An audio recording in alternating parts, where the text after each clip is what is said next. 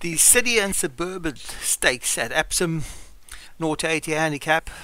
Three years and up, over 10 furlongs. One is Dr. Ruve for Patrick Hogan. Two is Festival of Rain, Obi-Wan. Just Right, Obi-Wan.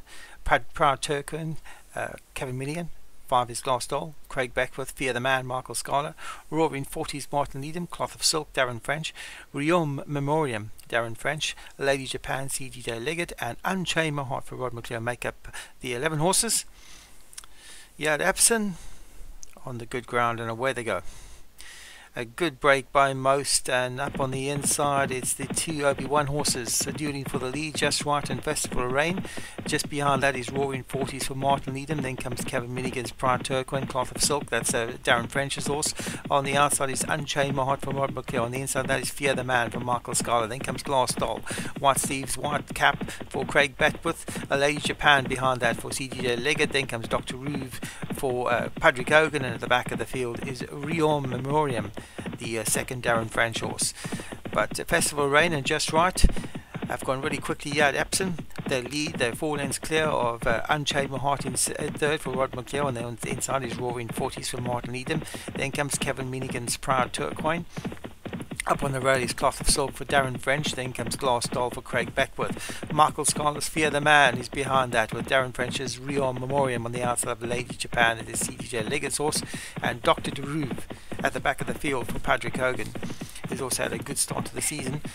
Festival Rain leads them from just right in second. Obi-Wan's horses in those yellow colours lead from uh, Roaring 40 trying to make a move now to close the gap. Then comes Unchained Heart for Rod McClure. Darren French's horse behind that. Cloth of Silk. Glass Dollars going well back in behind that. Now making a move from the back of the field. Dr. DeRue for Patrick Hogan and travelling smoothly. Uh, Fear the Man behind that. Then comes Rio Memoriam and Lady Japan at the back of the field. They've got three players left to travel. Festival of Rain still the leader from Roaring 40s in second. Then Unchained Heart. Just Right has gone backwards on the outside, finishing strongly. Dr. DeRue for Patrick Hogan. He's a real eye catcher. It's Festival of but here comes Dr. DeRue on the outside for Patrick Hogan, running on strongly, obviously getting going. He's a glass door for Craig Beckworth.